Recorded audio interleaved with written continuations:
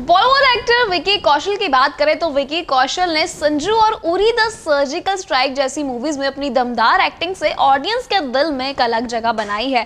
वहीं विकी कौशल की एक्टिंग को जहाँ इतना प्यार मिल रहा है, वहीं विकी कौशल आने वाले समय में भी अपने फैंस को खुश करने वाले हैं बड़ी मूवीज़ के साथ। उनके आने वाली फ़िल्मों में से एक है शहीद उधम सिंह की बायोपिक जिसमें वो हमें शहीद उधम सिंह के कैरेक्टर को प्ले करते हुए नज़र आएँगे।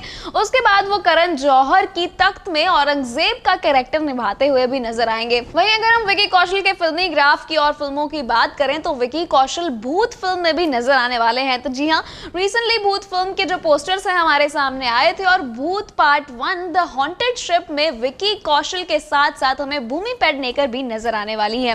ये फ़िल्म पहले इसी साल नवंबर में रिलीज़ होने वाली थी, लेकिन रिसेंटली इसको पोस्टपोन करके फरवरी 2020 में रिलीज़ करने का फैसला लिया गया है और 21 फरवरी 2020 की रिलीज़ डेट फाइनल की गई है भूत फ़िल्म के लिए।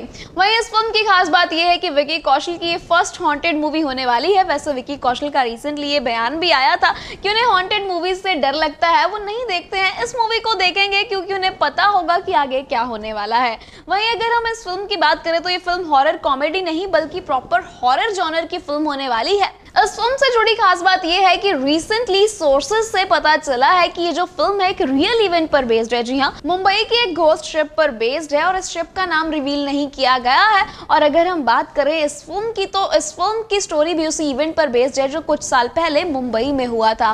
ये हॉन्टेड इवेंट जो भी मुंबई में हुआ था, इस फ़िल्म में दिखाया जाएगा। इस, ये फ़िल्म की स्टोरी उसी पर बेस्ड रखी जाएगी, जिसके कारण फैंस को थोड़ी और एक्साइटमेंट हो सकती है इस फ़िल्म को देखने के लिए। बाकी देखना ये होगा कि विकी कौशल इस फ़िल्म में कैसे कैरेक्टर को प्ले करते हैं और कितना अच्छा रिस्पॉन्स मिलता है ऑडियंस का विकी कौशल की इस फ़िल्म भूत को।